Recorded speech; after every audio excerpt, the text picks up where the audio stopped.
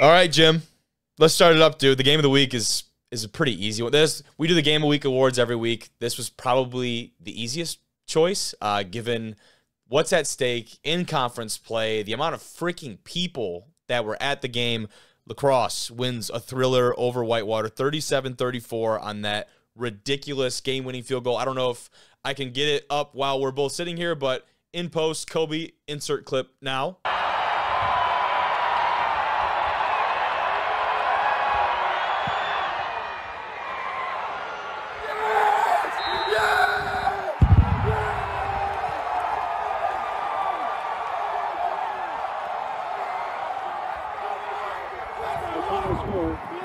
Perfect. What a clip. That w- I mean, the the scene was electric. Obviously, neither of us were there, but seeing it from probably eight different angles was fucking incredible. Yeah, that thing was a nuke. I think it was 51 yards. I actually I saw a tweet this morning. Uh, some kid on the La Crosse football team tweeted. He's like, I think it's Michael Stack. I think he's like, yeah, Michael Stack is the king of La Crosse. I mean, the kid That's a awesome, 51 yarder to beat Whitewater on the road. Like, dude. In front on. of supposedly twenty thousand one hundred and thirteen fans over there. I did see that attendance. That's absurd. I mean, I mean, I've been to Perkins Stadium a few times. There's obviously like a huge like like seated area, but there's also like tons of like standing room area as well. Yeah, and so So- that broke the record for the on-campus Division three football game. Um, the overall record still held by the Cortaca Jug game between Ithaca and SUNY Cortland. I was at that one in MetLife. That was incredible. But as far as on-campus games go, this one now takes the cake. Yeah, that's twenty thousand people. Holy, that's ridiculous, man. It is. Something we were talking about a little bit is uh, Kaiser Helterbrand and the way that he's at least kind of transformed in this offense. Not very much your typical quarterback per se. Talk about that a little bit. Yeah, so uh, Kaiser had he's ten for sixteen, one hundred five passing yards, two touchdowns, and then he ran the ball twenty five times for hundred yards, and then he caught two balls for thirty nine yards. So he's just kind of like a Swiss Army knife, if you will. I mean, Yeah. uh, yeah, I mean he's just really good, really really good football player. So yeah, to just tip the cap to a kid like that, and then Zach Wire. We I know I keep watching this kid's name. I, last week I did it too, but Zach as well. You know, and anytime you throw two touchdowns against Whitewater, you've probably had, a pretty good game. Incredibly efficient too. I mean, nine for twelve, takes care of the ball. Obviously, no giveaways uh, from either of those guys. That's key in a game where the Warhawks. It felt like the moral of the story was self-inflicted wounds, and uh, they're gonna have to do a lot of evaluating in this next week because they don't get a break. We know talking about their schedule here in the next couple weeks, but um, that for me was the biggest thing. Looking back and trying to peep some of the film is like, you know, La Crosse was very opportunistic. When the Warhawks faltered for even a play or a series, or maybe just didn't get the, the momentum going, La Crosse was immediately there to capitalize on that.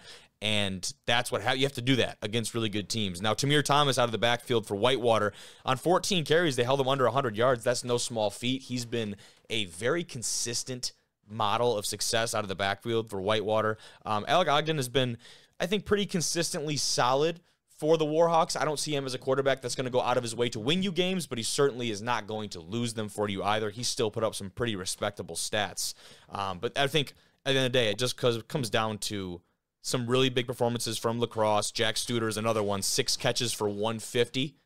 One of those being an 84 yard touchdown. I mean, those kind of explosive plays are what's going to elevate you above that. And La Crosse defensively was super spread out. Um, they didn't have a guy with over seven tackles on the day, which is you could say, oh, maybe not, you know, anyone standing out. That means everyone is flying to the ball, everyone's getting there making plays, and that was something for me that that definitely stood out. And the kick itself, dude, we, we watched it. it was that was that was class.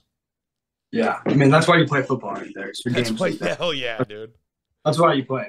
So I love that. But um, talk about moving forward, at least for La Crosse. First, you look at they're four and one right now. Their one uh, loss coming at home versus Hardin Simmons, and you look for these next couple of weeks at Platteville this next week. But you still have on the schedule a home game in two weeks from now against Oshkosh, and then you're at River Falls uh, a week before you close out the year. There's still a lot of work to be done uh, for they're the Eagles over there, right? at uh, River Falls. La Crosse. Oh, La Crosse, yeah, the Yeah, yeah. no, River Falls Falcons. Um, but yeah, so still a lot of work to be done there. Not to mention, you know, you got a team over there in Eau Claire, and you don't know what Platteville could potentially give them a challenge. So those are not uh, skip over games for them. No shot at Stevens Point at the end of the year, but I expect that one to be uh, kind of a cruise for them. Yeah. Uh, but either way, uh, Whitewater you know, is right back in the mix of things this next week. We'll talk about some of the new rankings that come out after we go over some recaps, man. But currently, River Falls is the number four team in the country. Whitewater is at their place this weekend. I mean, you could look at it one of two ways, right? This could be two weeks in a row where Whitewater gets knocked down a peg, or is this the best time for a bounce back game ever? Yeah, I mean, anytime you have an opportunity to play the number four team in the country, I mean, those two would essentially probably just swap if Whitewater were to win that game. Now, obviously, if Whitewater were to lose, though, that'd be two losses. Like, does that does Whitewater get in the playoffs with two losses? Like, and then it's kind of like muddy water. Yeah. Now you don't you don't want to drop two. You don't want to drop two games, especially and even if they in- are in against the number four and Oh. the number 14 teams in the country. Mm-hmm. Yeah. It is tough, but um, we won't spend too long on it. But we'll talk a little bit about Oshkosh because of the offensive performance that they had against your uh, Blue Devils down there 48 46 over Stout in a, gosh, a late night Pac 12 MACtion esque shootout of a game over there. Um, and just highlighting some of those big time performances, at least individually. Kobe Berghammer, 42 for 52, 466 with five tuds, no turnovers. There were a couple different records he broke because he also had 105 on the ground. You talked about it, man. That dude does it all for the Titans. What did you see from him? Yeah, he uh, he ran for 100 yards as well. So Yep. you gotta see, like that's he had a record breaking performance, and they won the game. You know, I just got to tip the cap to him.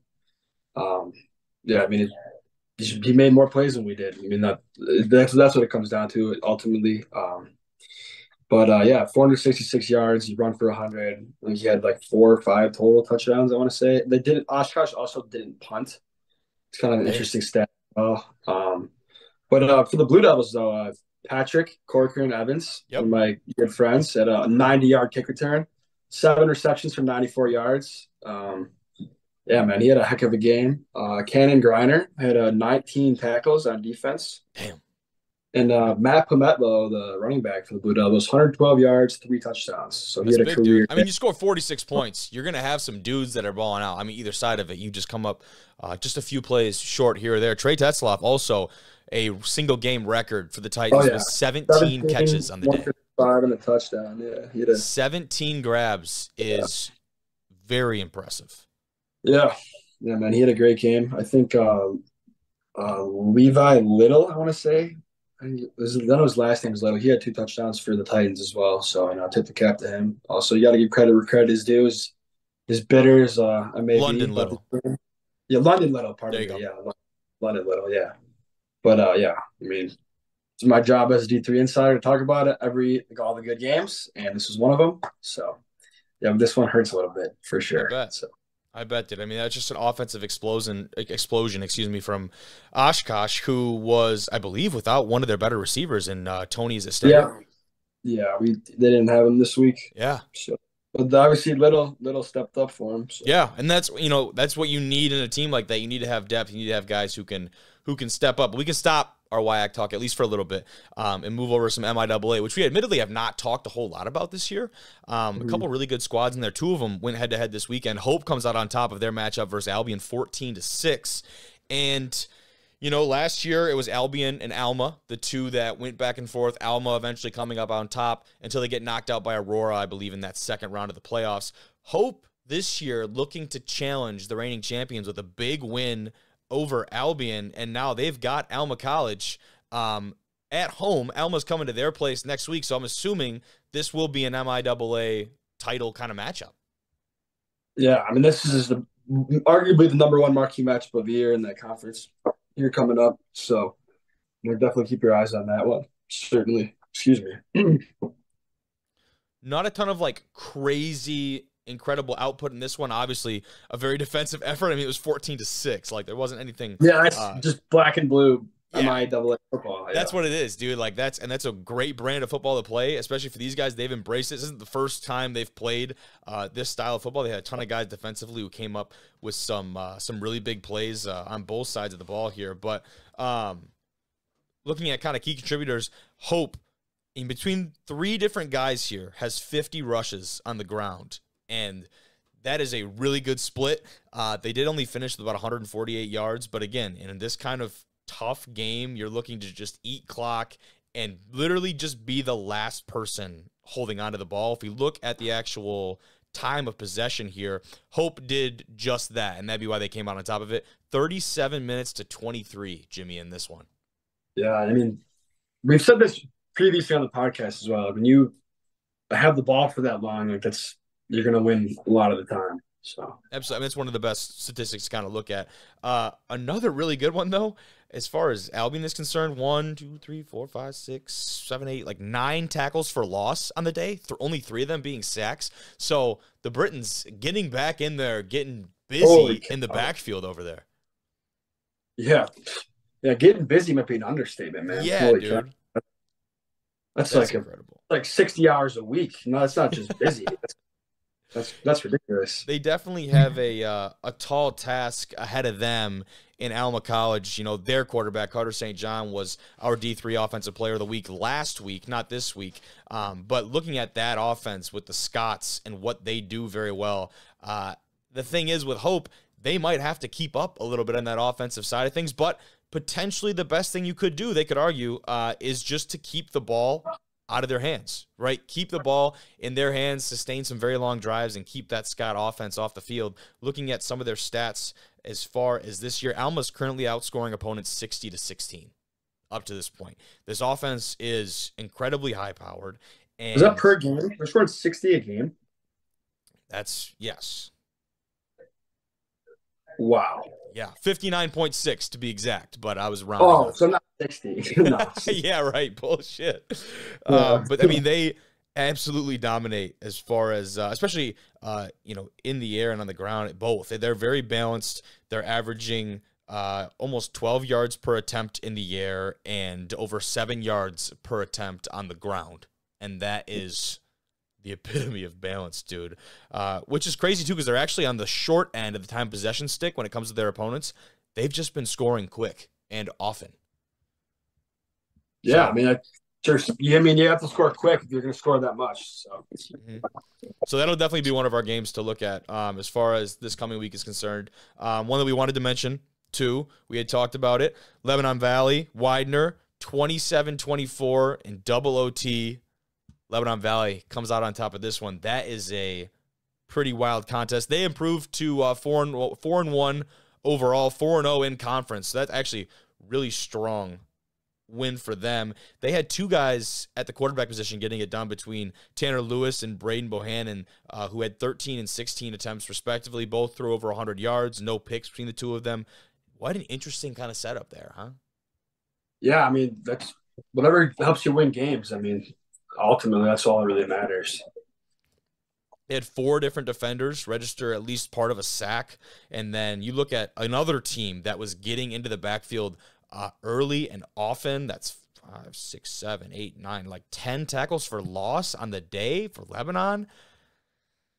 That is dominant. You're gonna win. You're gonna win a lot of the time if you have 10 tackles for a loss. Because yeah. that means you're just backing up the guy, the team on offense, gonna make it harder for you to first down. Like that's yeah, and I will those, say, those you, know, you would assume a team up. like that dominates the line of scrimmage. They only had two rushing first downs in the day. Lebanon was getting it done through the air um, and not really on the ground whatsoever. Hmm. Hey, I mean, like I said earlier, you know, whatever the game plan has for you to win, I mean, that's you got to roll with that. Yeah, and it's it's interesting too. You see some of these stats that don't typically coincide with winning.